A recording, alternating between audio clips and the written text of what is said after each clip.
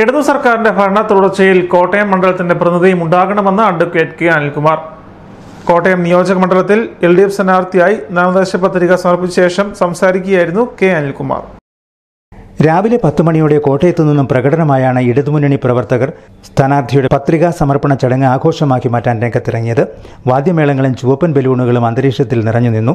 കളക്ടറേറ്റിലേക്ക് നടന്ന പ്രകടനത്തിൽ നൂറുകണക്കിന് ഇടതുമുന്നണി പ്രവർത്തകർ അണിചേർന്നു.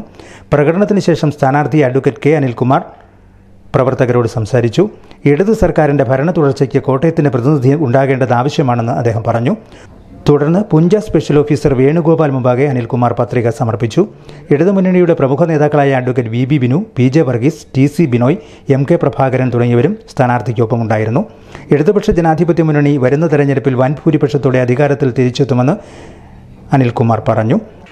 പഞ്ചായത്ത് മുനിസിപ്പൽ തെരഞ്ഞെടുപ്പിൽ കോട്ടയം അക്ഷര നഗരം ഇടതുപക്ഷ ജനാധിപത്യത്തോടെ ഐക്യ ജനാധിപത്യയുടെ മറികടന്നുവെങ്കിൽ ഈ ഏപ്രിൽ മാസം ആറാം തീയതി ആളുകൾ വോട്ട് ചെയ്യാൻ പോകുന്നത് പോളിംഗ് ബൂത്തിലേക്ക് പോകുന്നത്.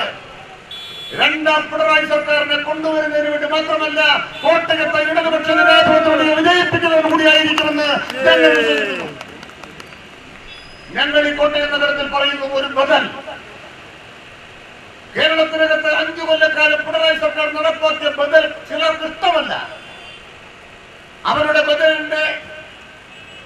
തുരുമ്പെടുത്ത ബദലുണ്ട് ഐക്യജനാധിപത്യത്തിന് കേരളത്തിൽ വെക്കുന്ന തുരുമ്പെടുത്ത ബദലുണ്ട് വിശ്വരൂപമാണ് ഗാന്ധി അവിടെ ഗാന്ധി മണ്ഡലം എന്ന് പറഞ്ഞ് ഉണ്ടാക്കാൻ അദ്ദേഹം ശ്രമിക്കുന്നു എന്ന് പറയുന്ന സീമാട്ടി റൗണ്ടാണ് കണ്ടുകൊണ്ടിരിക്കുന്നത്.